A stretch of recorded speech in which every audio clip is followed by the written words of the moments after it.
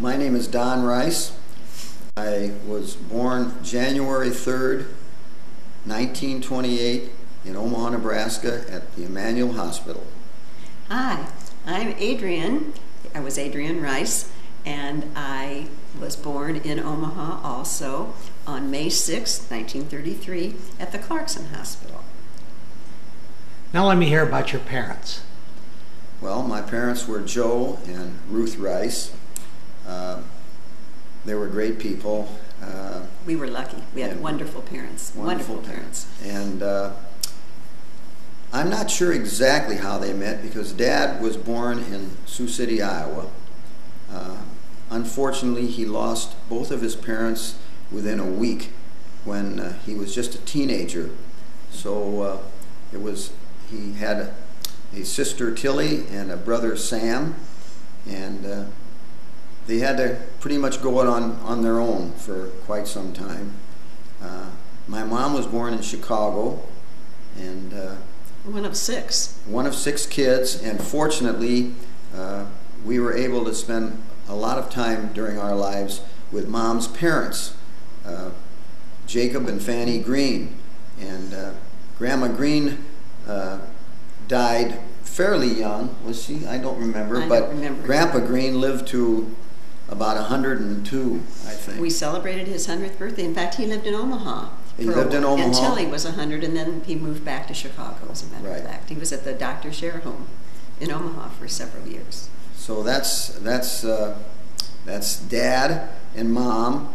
And uh, Adrienne and I have talked about it. We're not really sure how they met, but dad was still uh, in Sioux City, and mom was in Chicago. And uh, I remember when dad used to go to see mom, uh, driving from Omaha to Chicago, it takes several days uh, just because of the roads and everything else. We're talking about uh, when did they get married? Uh, a long time ago. No, I mean, I mean this was this was in the dark ages when they, when they were courting, and uh, but and and I know that the Chicago family, because mother had uh, had five other brothers and sisters um, who all stayed in the Chicago area. They didn't want mom to leave. They didn't want to lose their sister, but uh, dad prevailed, and uh, when they got married, they moved back to Omaha. Uh, do you have anything to add? To no, that? they were married on December 26th, but I don't remember the year. Could have been? Well, they were all, they were going to celebrate their 70th wedding anniversary just prior to when Dad passed away. So they were married for 69 years. Dad yeah. passed away in 93, 1993. 1993. How did your dad happen to come to Omaha from Sioux City? I, I think that he was selling uh, like confectionaries and uh, uh, candies and stuff to, uh, uh, to uh, grocery stores and smaller shops like that. But his brother Sam worked for Cudahy in Omaha and my guess is that Sam got Dad to come to Omaha because he was there. And, uh, and I don't know how their sister Tilly, how she ended up in Omaha. I, I have no I, clue. I, I, just don't know. I know she did end up in Omaha because she ended up actually uh, working uh, with uh, Dad and Sam at, at Gland-O-Lac. At their company, yeah. They were all working together, which is kind of interesting. Yeah, yeah. Now, what was your dad's background as far as education was concerned? Well, this is interesting. He started to go to the University of Chicago, but he was so anxious to see his brother Sam finish school that he quit school and went to work uh, so that uh, so that his brother Sam could, could finish because his, his brother Sam was in, going to be a graduate chemist and they both couldn't stay in school at the same time. So Dad, after I think a year at the University of Chicago, uh, stopped and went on the road. And your uncle did finish school? Finished school, went to work for Cudahy, which, uh, in a sense, is how the whole uh, business of their of the of the Gland-O-Lac got started. Um, Dad Dad's brother Sam Rice was a chemist at Cudahy and befriended a veterinarian who also worked for Cudahy.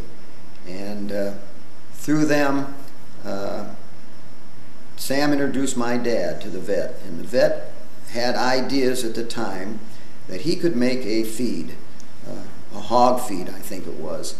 And uh, dad, who knew nothing about farming or agriculture or anything, but he was a terrific salesman, said, Well, if you can make the feed, I can sell it.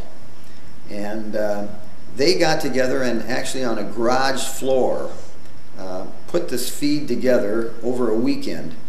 And on Monday morning, Dad would pile the feed in his car and he would go out on the road and sell the feed to farmers.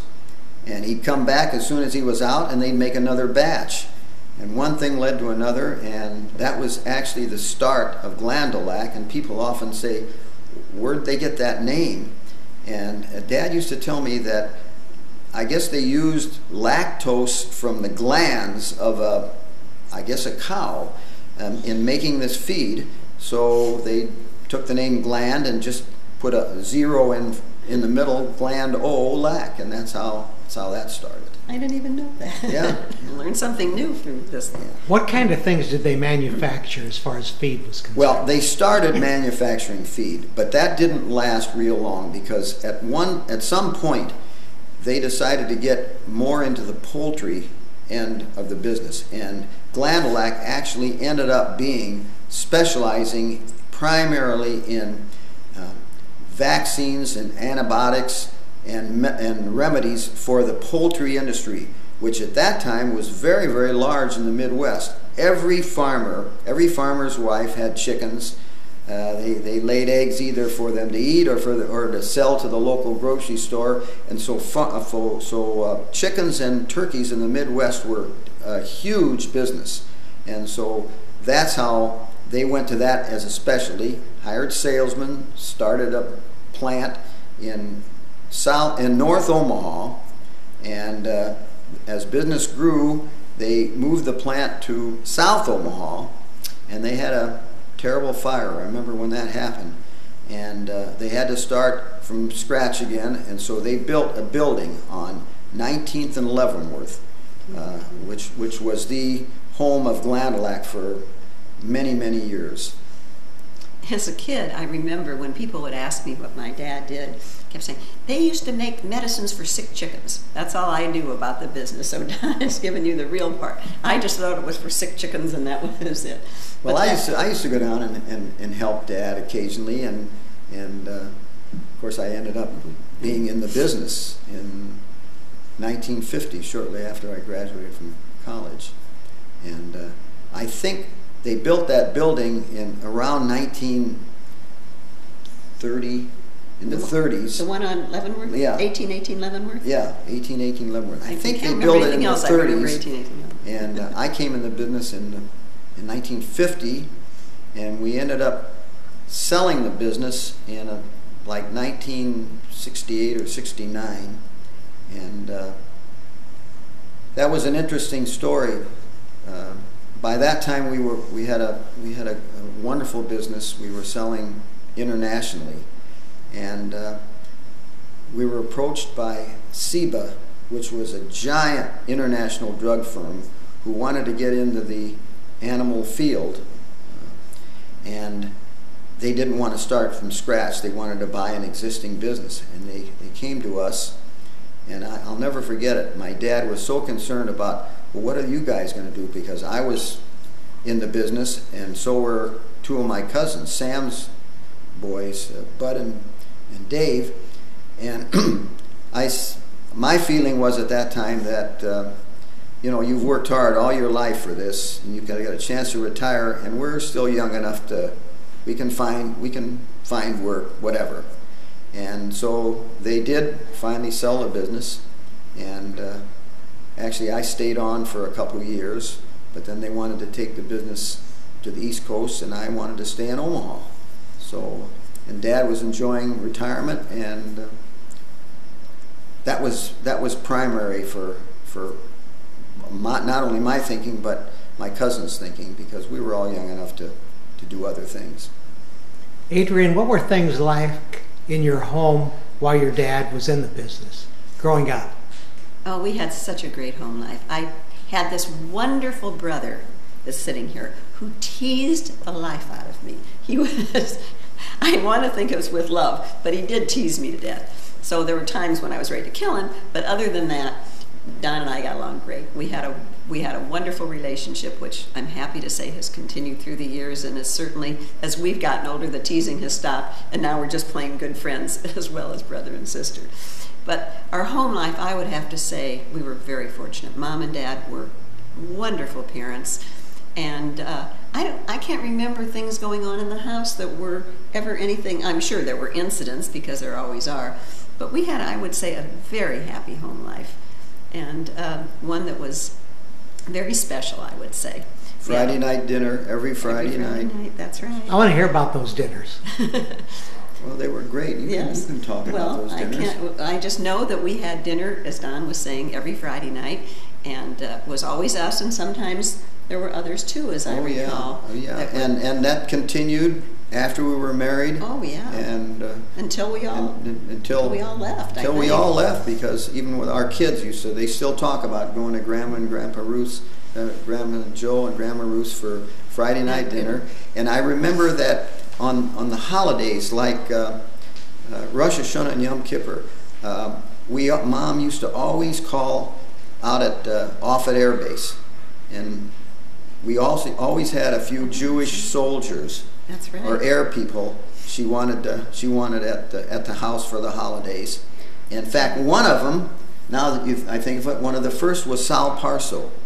He was stationed, I think, at SAC. Oh, really? Yes, and she had him. I'll never forget. She had him for dinner. That's before he met Lee Jane. That's when he was just a serviceman. And Mom always used to like to have a few servicemen over in the house for the holidays. I can still picture sitting around the table in the dining room. We had a large dining room, and uh, we would all sit around the table all the time. Gee, we were lucky, as I think about it, because we did that for as long as we were all in, in Omaha, as a matter of fact. As Those long were as great days, wonderful yeah. days. We were very fortunate. Tell me about the home you lived in. Well, we started. Where well, we started. No, I started before I before you were born. I was I when I was born. They lived on a they lived in an apartment on about thirty second or third in California, um, in the Creighton area. Uh, but then, as, a, as, I, I, as far back as I can remember, we lived in Florence on about 28th and Titus, uh, which was in a very, very modest little bungalow. Actually, that was before me. Yeah, that was before you uh, in a modest little, and I start, actually I started uh, kindergarten at, uh, at, at school a few blocks from, from our house. But uh, shortly, I mean, the next thing I remember, we moved to uh, to William Street. To William Street. 4216 4216 William Street. uh, right near the county hospital there. Mm -hmm, mm -hmm. And uh, we both went to Beale School. We both went to Beale School. For a while. And you, at that time, when we went to Beale School, the only thing around Beale School, it was all farmland pretty much, except for Gratz. Gratz was, was across from Beale School. Remember that? Yes, I do. Yes, I do. And then when I was, in fact, when I was still at Beale School, I can remember walking once in a while with Joanne Levy to Bethel when we were going to Hebrew school. And that was a long walk from Beale School to Bethel, and that was when Bethel was at 49th and Farnam. And then uh, when I was in fifth grade, I think it was, we moved to 56th and Webster. And I finished school at Dundee and then went on to Central. But as a kid, I remember our lives on William Street. You used to play hockey there. Well, what, what, what, I, what I remember about the folks that most affected my life and, and to this day is that they somebody came out at Beale School and said they were going to have an open house and was anybody interested in playing a musical instrument and I said to mom you know I, I think I would like to play the clarinet. I have no idea where that came from. But she said fine we'll go. So we went over to Beale's school and I got a clarinet. I was like a, I was so excited, and I took a few lessons, and uh, I'm not going to go into the rest of the story, but it was it was the start of, of a musical career that I've had for 60 over 60 years. I know I I've been a member of the Omaha Musicians Association for about 65 years, and but I it wouldn't have happened unless the folks were unless the folks encouraged me, and they did, and I, I'll, I'll they changed my life. Nobody did that for me. I can't play any instrument. I took piano lessons for a while that went nowhere, and that was the No, end of uh, my my musical career. Uh, Adrienne, when you started high school, you went to Central. Right. Tell me about those times. Oh, those were great times. Those were great times. Yes, I I went to Central for all four years, and uh, it was a long way from home. I can remember taking streetcars and buses, and when we couldn't get a ride, uh, if some we knew someone that was old enough to drive, then that helped a great deal. Uh, Central was a wonderful place in those days. I'm assuming it still is. I don't know, but uh, it was across the street from the Jewish Community Center. And after school, every single day after school, all the Jewish kids went over to the Jewish Community Center. And it was a wonderful meeting place. We had a lot of fun there. It's where a lot of friendships developed and, and people got together. And that's where the dating all started. And it was, it our lives there were terrific. And Central was a wonderful school then, and I'm assuming it still is. Uh, got a good education there and uh, met some terrific people.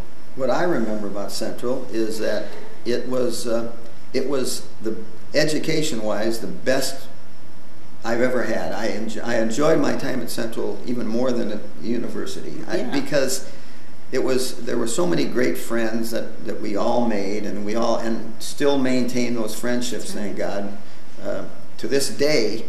And uh, I remember the Jewish Community Center and Paul Verrett. Uh, I remember if if I would sit in there after school, and some one of the gals would come in, a cute gal or something. I said, "Come on, sit on my lap."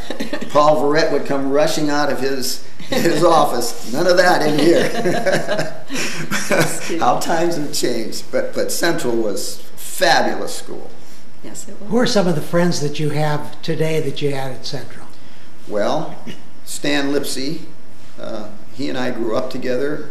Um, uh, Gene Lipsey Rosenblum, we were like brother and sister. Uh, who else do I still? Well, Irv Malashock, who's a dear, dear friend. Uh, I think he might have graduated by the time I- I- by the was- time I was in in high school. But uh, I don't know. I can't. A lot of them. A lot of them, unfortunately, aren't here anymore. But uh, I, I s- I still maintain friendships with a lot of people in Omaha uh, that I went to school with. How about you, Adrienne? I was just, while you were talking to Don, I was trying to think of that. Um, we were talking about the Blacker family. Marty Blacker and I are still very close. The Blackers and our family. Uh, we- oh, we used to get to dinner almost every Sunday night with the Blackers. And uh, we, so they were always dear friends. And Marty and I have remained dear friends to this day. Now he lives in Houston and I'm in Santa Monica, but we still correspond and, and still talk to each other. How about the And- Linsmans? Uh, yeah, they, they were all part of that too. Uh, and Judy Theodore was a friend of mine, and Rita Brick was a friend of mine. In fact, we were known as the Big Four. That was Lois Linsman, Rita Brick, Judy Theodore, and I was the one of them. And we were the Big Four. And those I- were the ones that. I know Dad was Dad was very friendly also with Mo Linsman, who had a The wardrobe. the wardrobe, which was down on about uh, 14th and Farnam. In the Paxton Hotel. In the, in the well, right Next up from door, the Paxton yeah. Hotel, next door to the Paxton Hotel.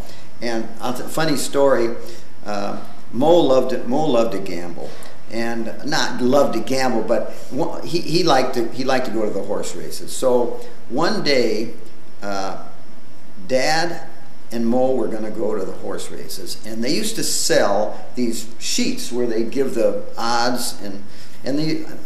It so happens that the day they went to the horse races, the name of the sheet was Mo and Joe at the races. This, they this one they didn't know anything about it. They picked this thing up and it says Mo and Joe at the races. It was my dad and Mo. and- That's cute.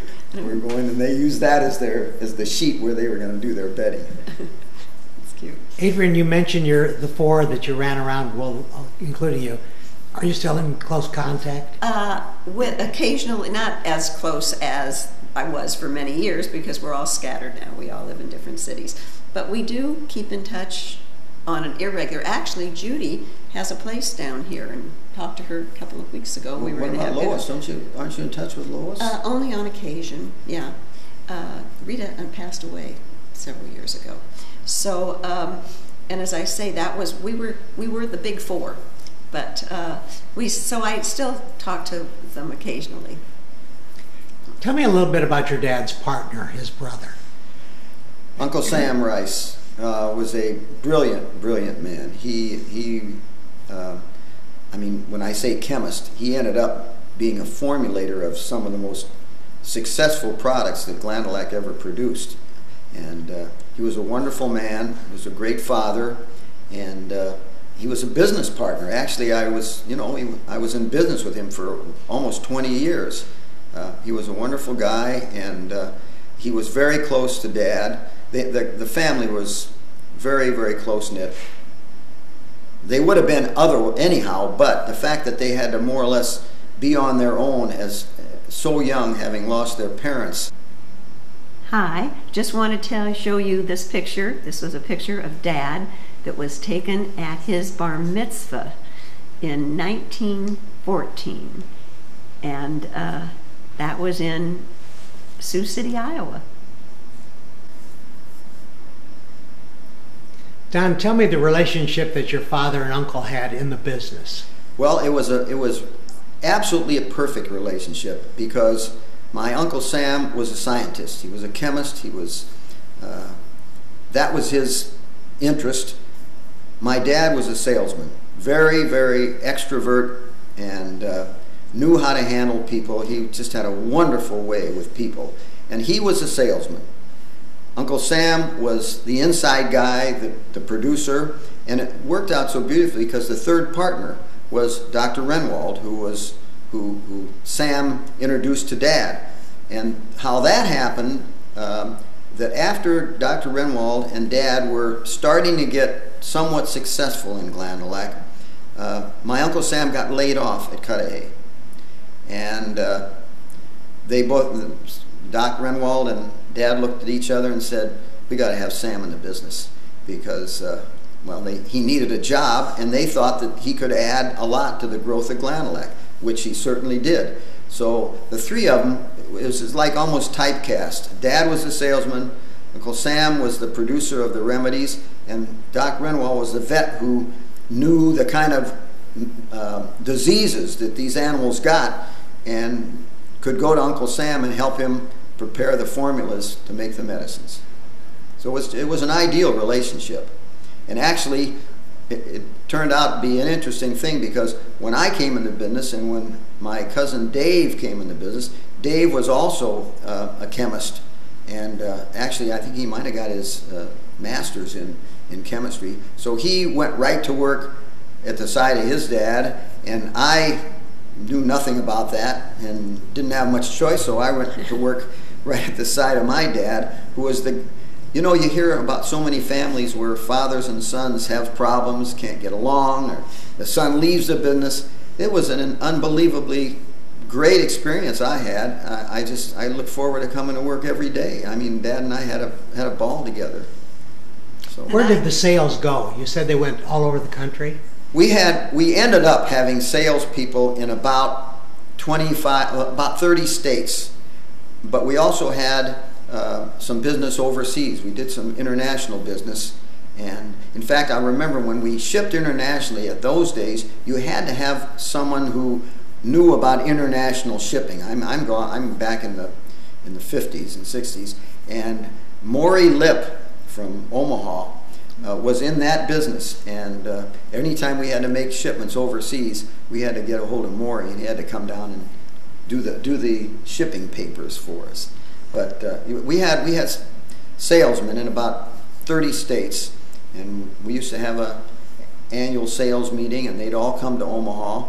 Uh, but as the business grew, so did the poultry industry, and it moved. It moved south. It moved. Uh, uh, into Arkansas and the southeastern states where they used to produce instead of little farm chickens, uh, a million chickens uh, for broilers for you know that's when chickens were very very hot as far as eating and so forth. So the business really moved a lot. Our business moved a lot to the southeast part of the country, but we sold all over the country. And Don, didn't Dad, some of the salesmen that worked for Dad, you still are in contact with this company, I am. I am. I just, in fact, I I, just got amazing. a. I just got a letter from a guy who worked for us in Iowa from his wife. He passed away a number of years ago, but she sends me a.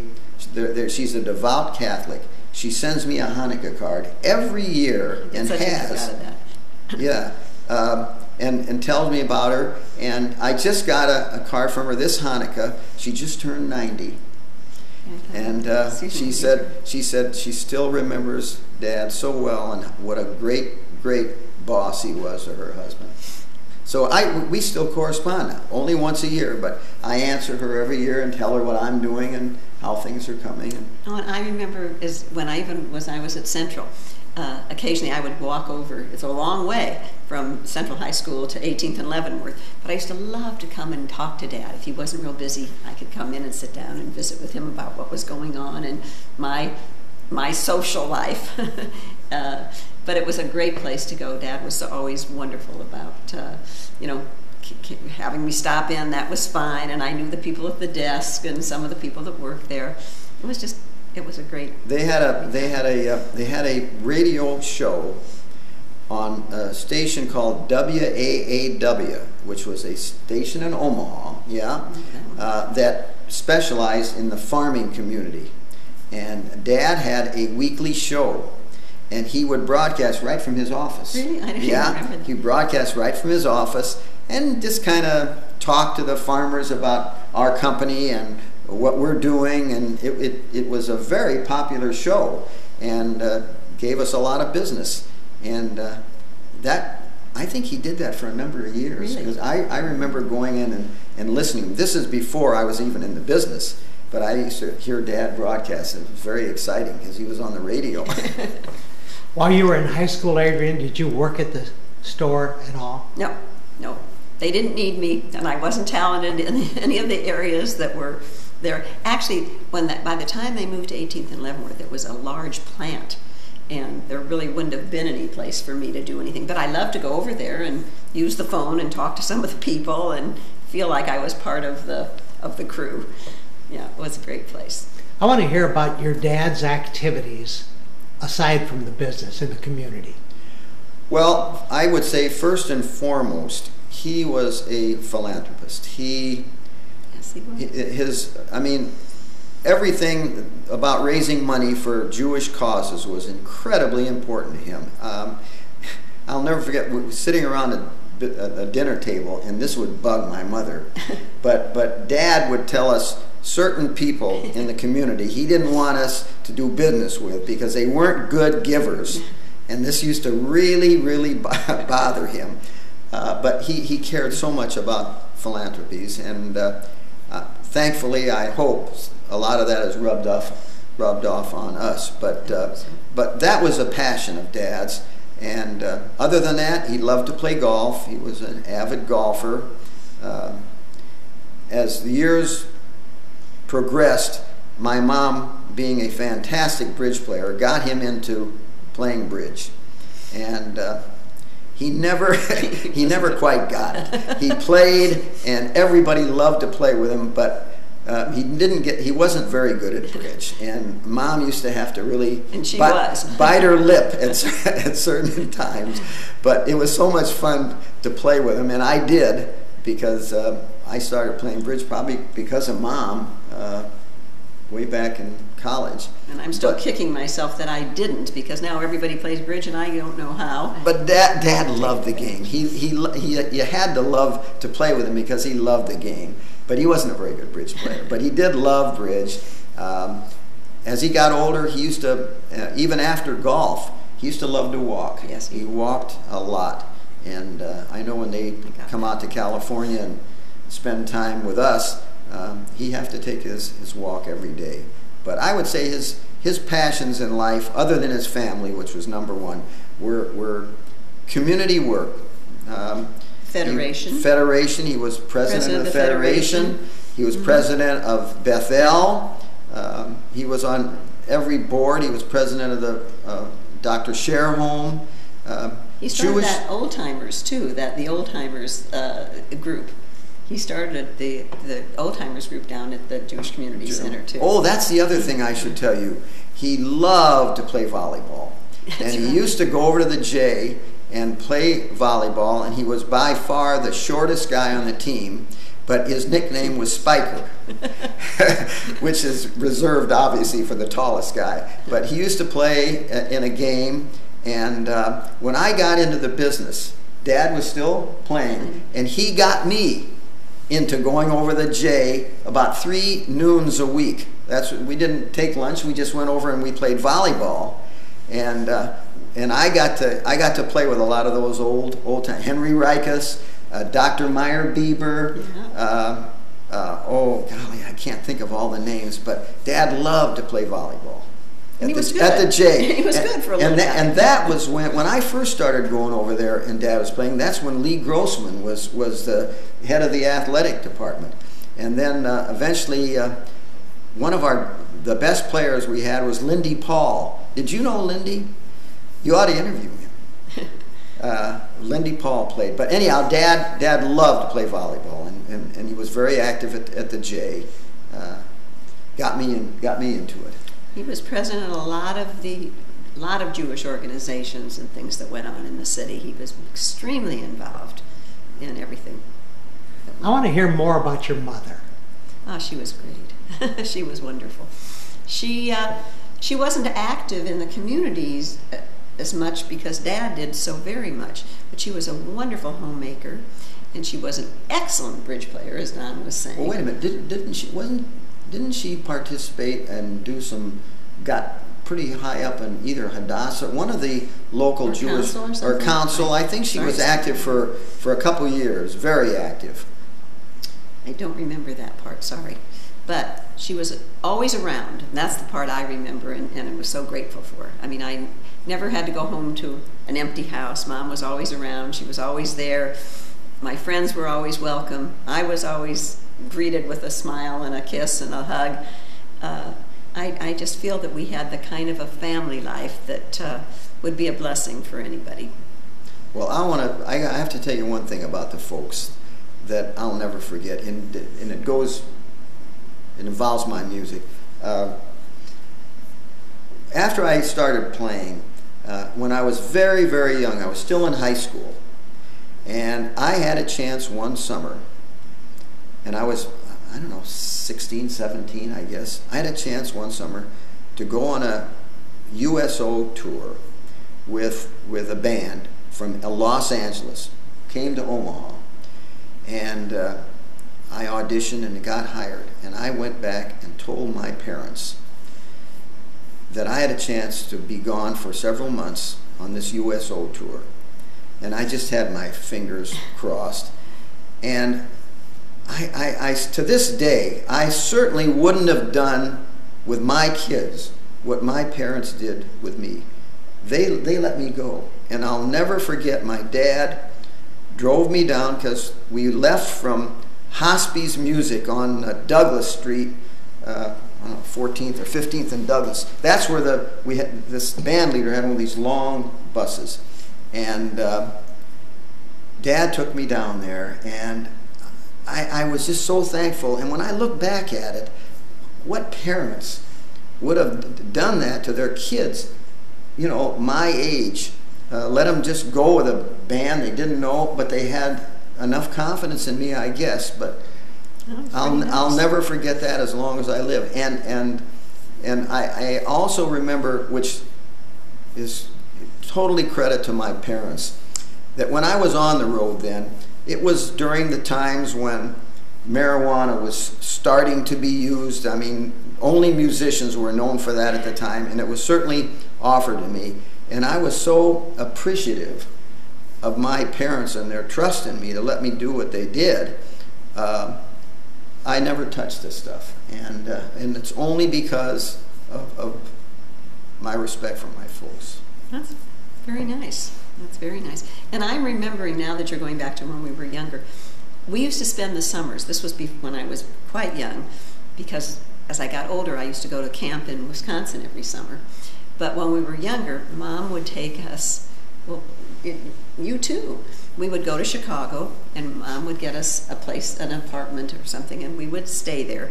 We would stay there on the south side, right near Mom's parents, Grandma and Grandpa Green, and we would walk to, and that's where Aunt Beegie lived. Uh, Mother's other sisters lived close by, two of her other sisters, and we would spend the summers in, in Chicago. And uh, in fact, I was kidding with Don because we used to have to take an elevator to the apartment that we were staying in.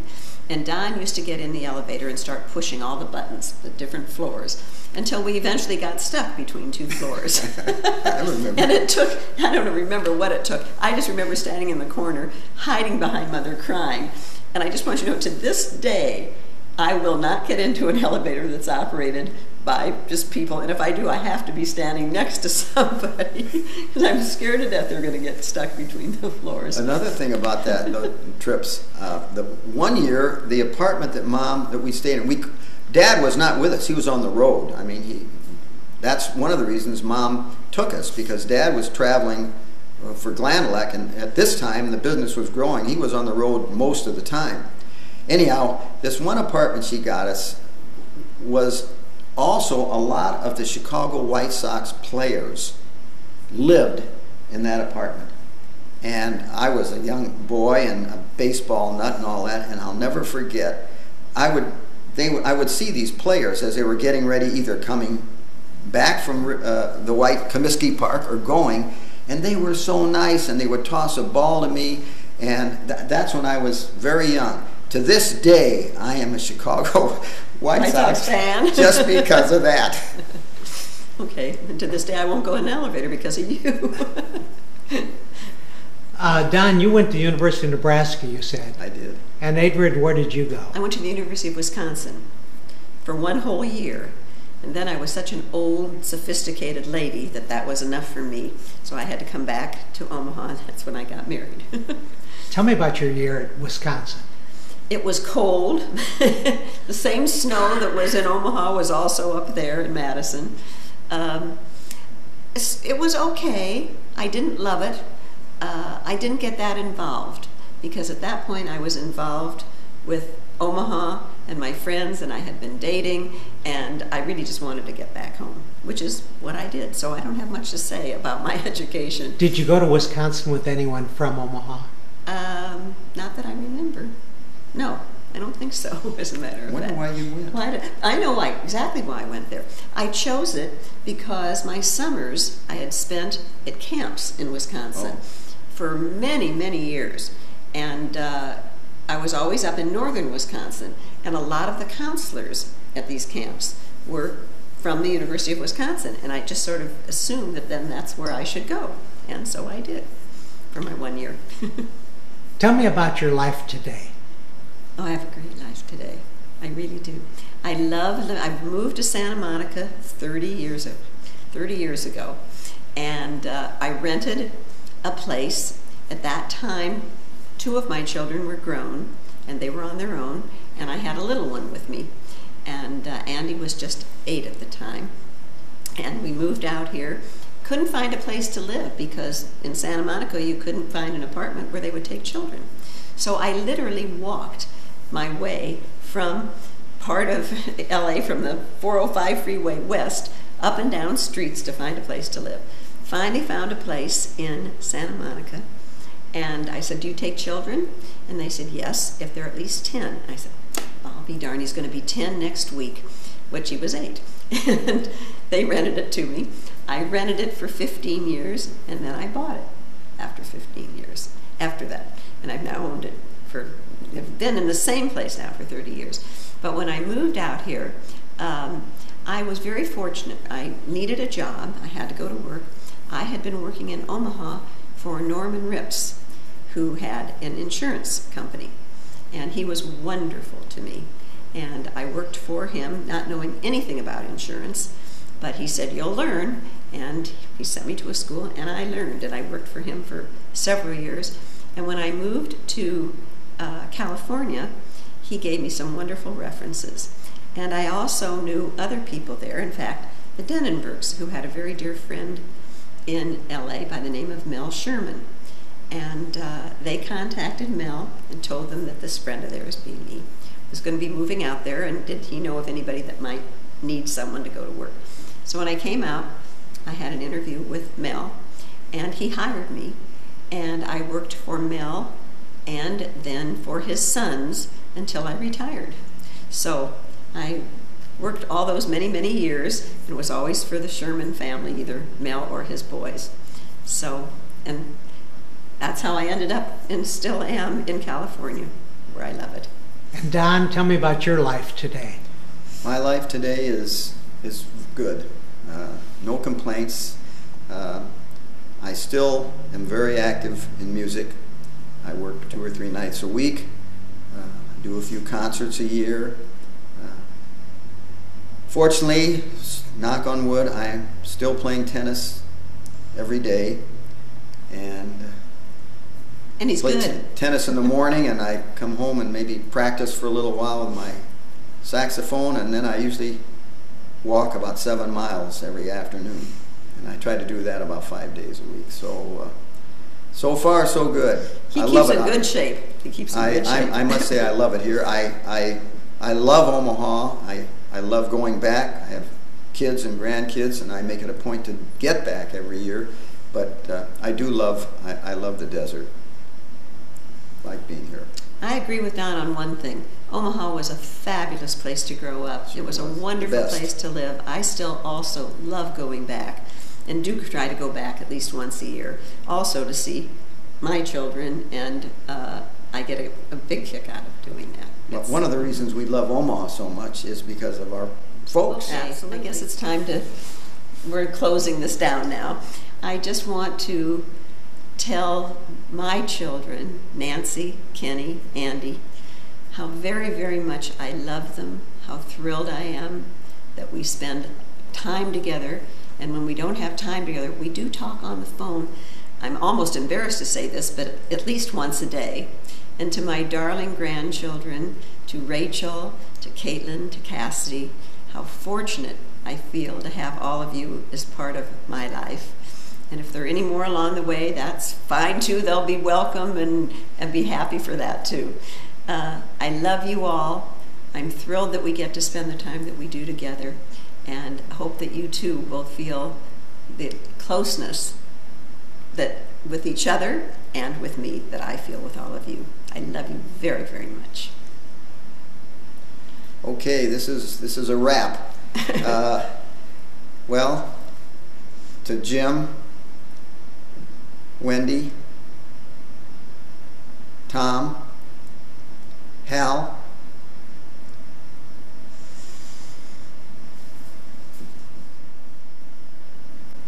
anyhow, what I want to tell all you kids is how much I love you all, how much you mean to me, how much our association, our getting together, obviously not often enough, but when we do, is such a pleasure for me. Jim, Wendy, David, Tom, Jean, Josh, Matt, Ben, Jake, I. I remember everybody. Uh, Dana, Jamie, Kyle. Uh, I love you all very, very much. And you're in my hearts, you're in my thoughts all the time. We're very lucky, We both are. of us. We've got wonderful families. We've got kids that are terrific. And we had great, great parents. Yeah, we've been very, very fortunate, and we thank you.